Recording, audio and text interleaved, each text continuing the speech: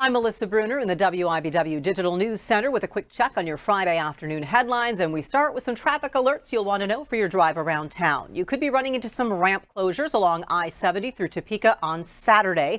KDOT will temporarily close on ramps and off ramps between Wanamaker and MacVicar. Crews will start their work around 6 a.m. Saturday. Each closure will last less than an hour. They'll start with the westbound side with the ramps at MacVicar, work toward Wanamaker, and then they will come back back east toward MacVicar on that eastbound side. The work is part of KDOT's resurfacing project along I-70. By the way, KDOT also told us today that a complete closure of eastbound I-70 through downtown Topeka that was planned for next weekend is now delayed until November 8th through 10th. That is due to a delay in delivering materials. And of course, all of that is weather dependent as well.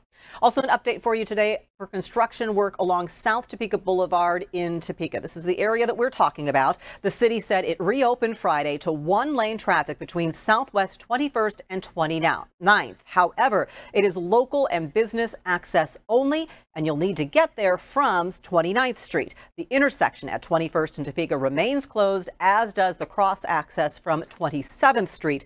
Crews are finishing water line and pavement reconstruction work in that area.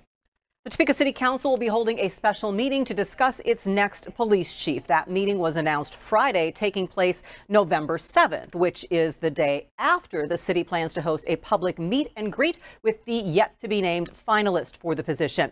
According to the agenda, this will be a closed door session involving the governing body, city manager Robert Perez, city attorney Amanda Stanley, and anyone else the governing body invites to participate.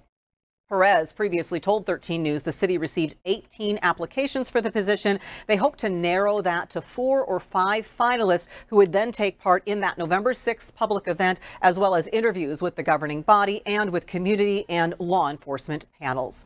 And the University of Kansas gave us, the media, a look today at the improvements and renovations they made to Allen Fieldhouse. Watch for that on 13 News and on WIBW.com.